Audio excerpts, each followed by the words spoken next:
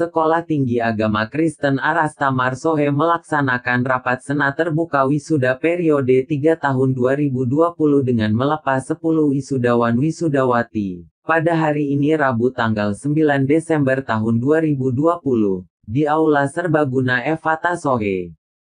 Selain itu Stak Arasta Marsohe juga melepas mahasiswa-mahasiswi PKL Angkatan 6 yang berjumlah 15 orang.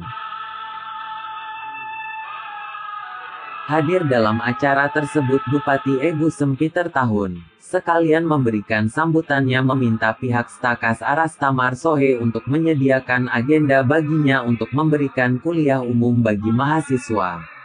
Lanjut Bupati bahwa Kabupaten TTS masih membutuhkan banyak sarjana pendidikan karena masih banyak sekolah di pelosok daerah yang belum memiliki tenaga pendidikan agama Kristen. Untuk itu tahun 2021 mendatang Kabupaten TTS mengadakan formasi tenaga pendidik.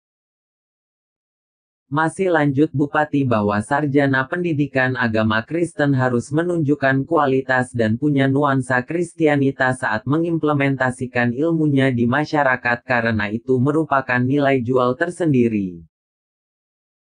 Tambahnya, untuk wisudawan, kami mengutus kamu untuk pergi dan melayani.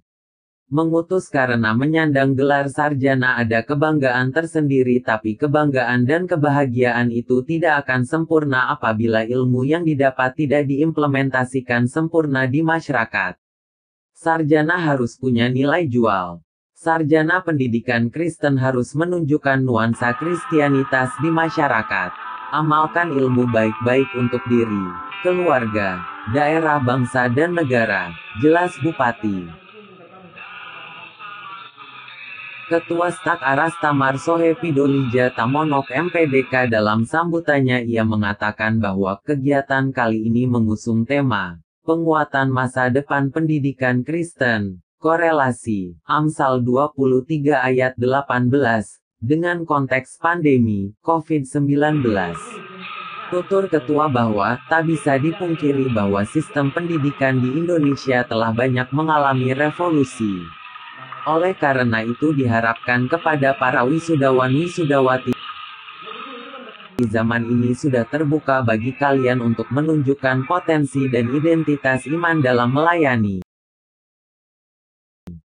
Tambah Oja sapaan Ketua Stak Arastamar Sohe ini. Sebagai kaum milenial jangan pernah merasa diri itu kurang dari orang lain tetapi harus percaya diri selalu untuk maju bersaing di dunia digital saat sekarang. Rapat senat ini penuh haru oleh para wisudawan-wisudawati beserta para orang tua dan para dosen. Dari TTS Reynatonis melaporkan.